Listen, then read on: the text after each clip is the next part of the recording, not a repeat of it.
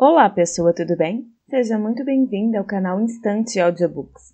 Agora você poderá usufruir dos capítulos 13 e 14 da obra O Menino do Dedo Verde. Mas antes da gente começar, não esqueça de deixar o seu like e se inscrever no canal se você ainda não for inscrito, pois isso nos ajuda muito a continuar subindo conteúdos para você. Dito isso, fique agora com os capítulos da obra.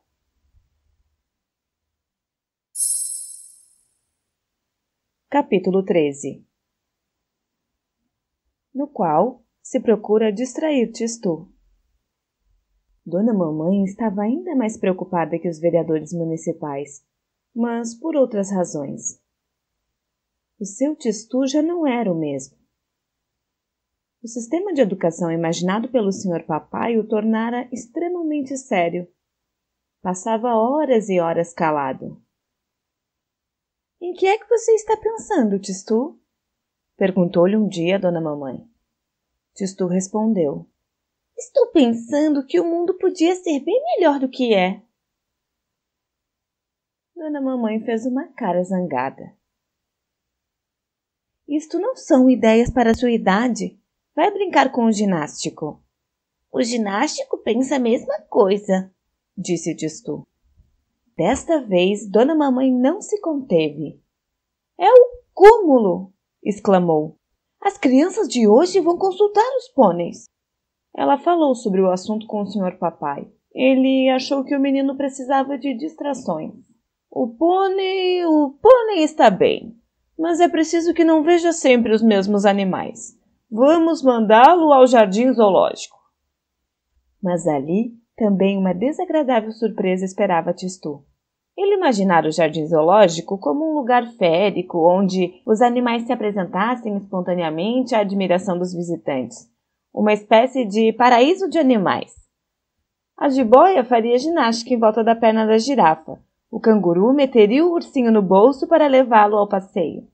Os jaguares, búfalos, rinocerontes, aves do paraíso, papagaios e micos, imaginava-os circulando entre toda espécie de árvores e plantas maravilhosas, como a gente vê nos livros de figuras. E, em vez disso, só encontrou no jardim zoológico velhas jaulas onde leões sem pelo dormiam tristemente diante das gamelas vazias, onde os tigres estavam fechados com os tigres, os macacos com os macacos para dar um pouco de conforto a uma pantera que descrevia círculos atrás das grades, tentou oferecer-lhe um cachorro quente. O guarda não deixou. É proibido, menino! gritou o guarda zangado. Mantenha-se à distância, são animais ferozes. De onde vieram? perguntou Tistu. De muito longe. Da África, da Ásia, nem sei de onde. Perguntaram a eles se queriam vir para cá? O guarda deu de ombros e se afastou resmungando que zombavam dele.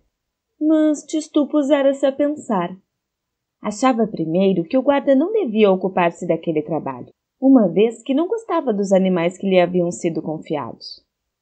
Pensava também que os animais deviam ter trazido entre seus pelos algumas sementes dos seus países, espalhando-as em volta deles a nenhum guarda do jardim zoológico ocorre impedir que um menino esfregue o polegar no chão. Julgam simplesmente que o garoto gosta de espojar-se no pó. Foi por isso que alguns dias depois um imenso baobá se erguia no cercado dos leões. Macacos saltavam de um cipó ao outro. Nenúfares boiavam no tanque dos crocodilos. O urso tinha o seu pinheiro e o canguru a sua savana. As garças e os flamingos cor-de-rosa caminhavam entre os caniços. Pássaros de toda cor cantavam entre os maciços de jasmins. O jardim zoológico de Mirapólvora tornasse o mais belo do mundo, e os vereadores logo o comunicaram às agências de turismo. Então, agora você está trabalhando até com plantas tropicais? Essa é forte, meu filho, declarou Bigode a Testu a primeira vez que se encontraram. Foi tudo o que pude fazer por aqueles pobres animais que estavam tão aborrecidos longe de seus países, respondeu Tistu. As feras aquela semana não comeram um só guarda.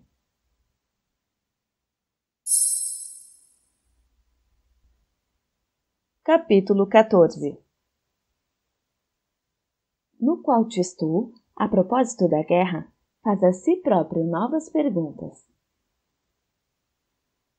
Quando os grandes falam em voz alta, as crianças não os ouvem. Você está me ouvindo, Tistu?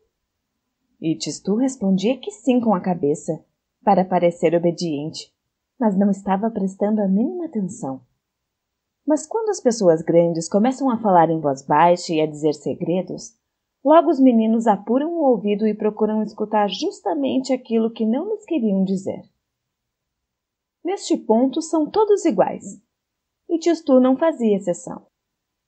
Há alguns dias que todo mundo cochichava em Mirapólvora.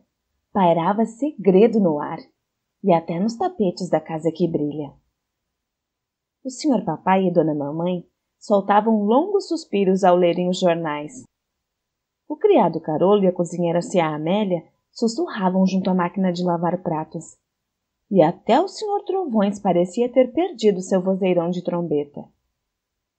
Tistu apanhava em pleno voo palavras de mau aspecto. Tensão, dizia o senhor papai em voz soturna. Crise, respondia dona mamãe. Agravamento, agravamento! acrescentava o senhor Trovões.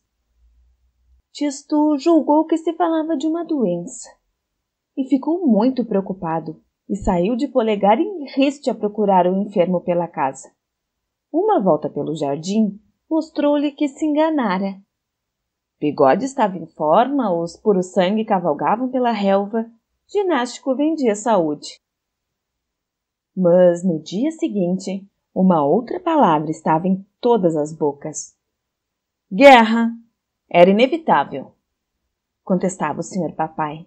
Guerra! Pobre humanidade! Lamentava Dona Mamãe balançando a cabeça tristemente. Guerra! Mais uma! Frisava o senhor Trovões. Resta saber quem vai ganhar. Guerra! Que desgraça!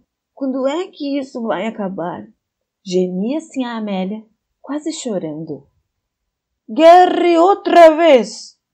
Repetia o criado Carolo que tinha, como vocês já sabem, um leve sotaque estrangeiro. Como só se falava em voz baixa, Tistu entendeu que a guerra devia ser uma coisa feia, uma doença de gente grande. Pior que a embriaguez, mais cruel que a miséria, mais perigosa que o crime. O senhor Trovões já lhe falara um pouco da guerra, mostrando-lhe um monumento aos mortos de Mirapólvora. Mas o senhor Trovões falara com voz tão forte que Tistu não entendeu direito. Tistu não tinha medo.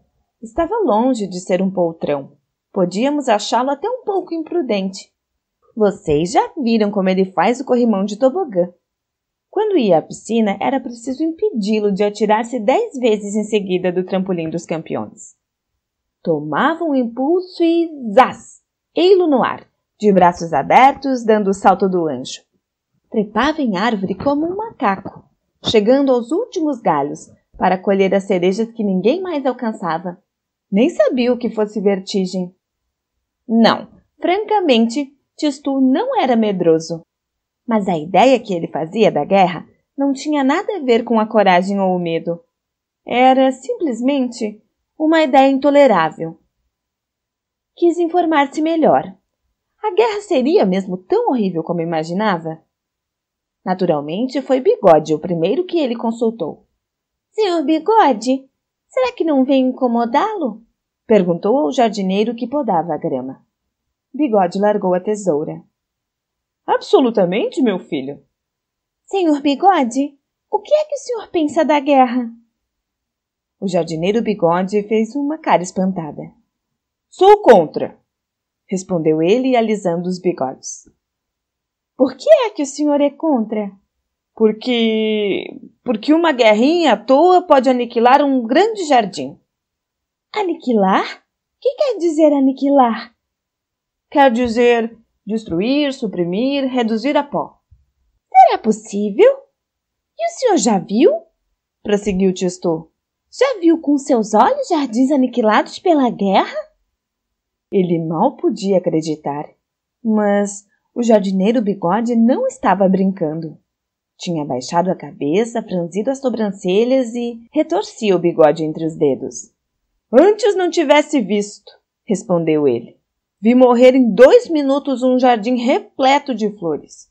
Vi estufas saltarem em estilhaços de cristal e tantas bombas semeadas pelo jardim que já ninguém usaria cultivá-lo. Até a terra estava morta. Tistu sentiu um nó na garganta. E de quem era esse jardim? Perguntou ele.